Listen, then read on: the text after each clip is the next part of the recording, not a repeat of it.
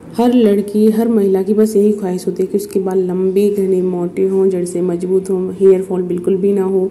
बस उसके लहलाते, खूबसूरत, चमकदार बाल हों। अगर मैं आपसे कहूँ, आपके भी बाल ऐसे ही खूबसूरत, चमकदार, लंबे, घने, मोटे हो सकते हैं।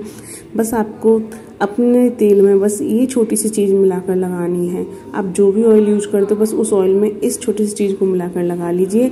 आपके बालों का झड़ना बिल्कुल रुक जाएगा। बस एक बार लगाने पर ही बालों का झड़ना बिल्कुल रुक जाएगा। बाल लंबे, घने, मोटे होंगे।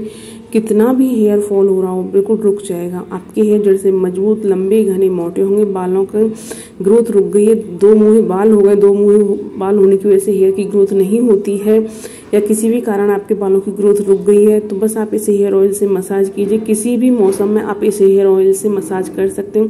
और ये छोटी सी चीज़ इतनी पावरफुल है ना, बस इसे ऑयल में मिलाकर लगाना है। दस से बारह बूंद आप इसकी मिला लीजिए और इससे बाल जो लंबे घने मोटे होंगे ना, आप खुद हैरान रह जाएँगे। तो आपको वीडियो को एंड तक देखना है, बिल्कुल भी स्किप नहीं करना है। आपको लेना है कोकोनट ऑयल ठीक है? कोकोनट ऑयल जो होता है वो बालों को नरिश करता है, बालों को लंबा, घना, मोटा करता है। नारियल का तेल जो होता है ना, इसमें पोषक तत्व तो काफ़ी सारे होते हैं। पोषक तत्वों से भरपूर होता है।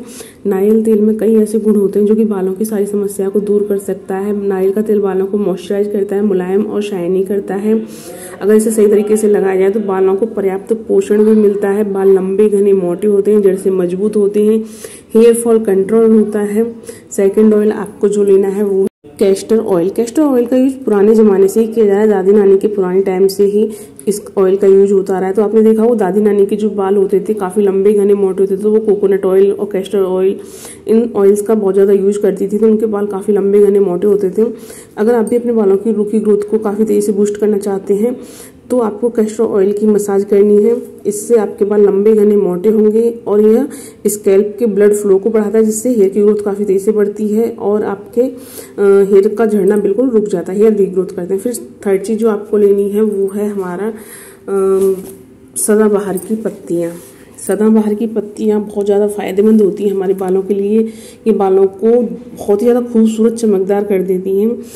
आपको करना क्या है? आपको सदाबहार की पत्तियाँ लेनी है। सदाबहार की पत्तियाँ यह पोषक गुणों से भरपूर होती हैं। ये स्किन के लिए भी फ़ायदेमंद होती हैं और ये बालों को नेचुरल ब्लैक बनाती हैं। आपको जो सदाबहार की पत्तियाँ लेनी है, वो इस पेड़ की सदा ये वाली पत्तियाँ आपको लेनी है। इस रंग का जो फूल आता है ना, इस इसमें आपको इस, ये वाली सदाबहार की पत्तियाँ आपको लेनी है। जिसपे व्हाइट कलर का फूल आता है या और किसी कलर का फूल आता है, आपको वो पत्तियाँ नहीं लेनी है, ठीक है ना? आपको ध्यान से सुनना है। आपको ये वाली पत्तियाँ नहीं लेनी है, आपको इस, ये पिंक कलर का जो फूल आता है, इसकी पत्तियाँ आपको लेनी है। ये बालों को नेचुरल ब्लैक बनाते हैं। इसमें एंटी बैक्टीरियल एंटीऑक्सीडेंट गुण होते हैं, जो कि स्कैल्प का ब्लड सर्कुलेशन तेज करके बालों को लंबा, घना, मोटा और मज़बूत करते हैं। तो आपको करना क्या है? इन पत्तियों को बारीक पीस लेना है। आप ग्राइंडर में भी पीस सकते हैं। मैंने इसे खल्लड़ में कूट लिया है। फिर इसका आपको जूस निकाल लेना है। इन पत्तियों का रस आपको निकाल लेना है और इन्हें ऑयल में मिक्स कर देना है। कम से कम 10 से 12 बूंद इस रस की आपको इसमें ऐड करनी है।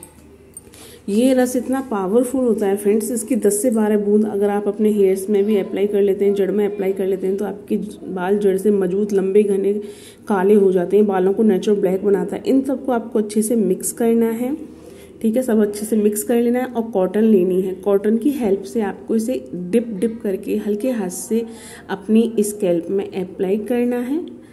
ज़रूरी नहीं है आप कॉटन लें जो हाथ के पोरुए होते हैं, उससे हल्के हाथ से मसाज करते हुए उसे अपनी स्कैल्प में अप्लाई करना है और करके आपको ओवरनाइट के लिए छोड़ देना है। ठीक है ना? पूरी रात लगाकर आपको छोड़ देना है। सुबह आपको अपने हेयर वॉश करने हैं, जो भी शैम्पू आप यूज़ करते हो, उससे शैम्पू करने का तरीका मैं आपको बता देती हूँ। शैम्पू जब भी आप करते हो तो आपको एक मग्घे में पानी लेना है, उसमें एक चम्मच शैम्पू ऐड कीजिए।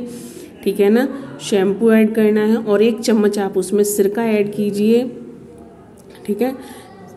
ऐड करने के बाद उस शैम्पू से आपको अपने हेयर वॉश करने अगर आप चाहते हैं आपका हेयर फॉल बिल्कुल रुक जाए, बाल लंबे, घने, मोटे हो तो शैम्पू करने का सही तरीका यही है।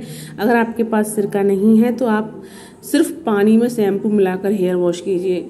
डायरेक्ट कभी भी शैम्पू अपने बालों पर अप्लाई नहीं करना है, क्योंकि हेयर फॉल फिर बहुत ज़्यादा होने लगता है। अगर आप इस तरीके से शैम्पू करोगे ना तो आपके हेयर जड़ से मज़बूत भी होंगे, लंबे, घने, मोटे होंगे हेयर फॉल कंट्रोल होगा। जब भी आप शैम्पू करें, इसी तरीके से करें, ठीक है? अब इस रेमेडी को आपको हफ़्ते में तीन बार ज़रूर अपने बालों में अप्लाई करना जिनके बालों की ग्रोथ रुक गई है, बालों की ग्रोथ ठीक से नहीं होती है, बाल रूखे बेजान है हेयर फॉल बहुत ज़्यादा होता है तो उनको इस हेयर ऑयल से मसाज हफ़्ते में तीन बार करनी ही करनी है, ठीक है ना? अगर आपके पास टाइम नहीं है तो दो बार ज़रूर कीजिए। और जिनका हेयर फॉल कम है, अगर चाहते हैं बाल हमारे लंबे हों और उन्हें स्ट्रॉन्ग रखना चाहते हैं तो हफ़्ते में एक बार भी काफ़ी है, जिनके बाल पहले से स्ट्रॉन्ग हैं, लंबे घने हैं। तो वो इस रेमेडी का यूज़ हफ़्ते में एक बार कीजिए, और अच्छे आपके बाल हो जाएँगे। आपके हेयर सिल्की साइनी स्मूथ होंगे, चमकदार, खूबसूरत होंगे। जिस तरीके से इसकी फूल पत्तियाँ देखने में खूबसूरत लगती हैं ना, उसी तरीके से ये आपके बालों को खूबसूरत, चमकदार, लंबा, घना, मोटा कर देता है। हेयर फॉल को कंट्रोल करता है हेयर को रिग्रोथ करता है। आपके जो हेयर हैं, अगर दो मुहे हो रहे हैं और गंजेपन की प्रॉब्लम है। गंजे सर पे भी ये बाल उगा देता है। इतना पावरफुल होती है सदाबहार की पत्तियाँ आपको पता है। बस इसे किस तरीके से यूज़ करना है, कैसे यूज़ करना है, आपको उसे यूज़ करने का सही तरीका आना चाहिए।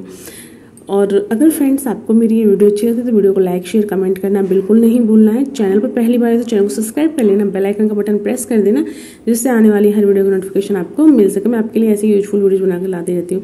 अपना फीडबैक मेरे साथ ज़रूर शेयर करना। Bye thank you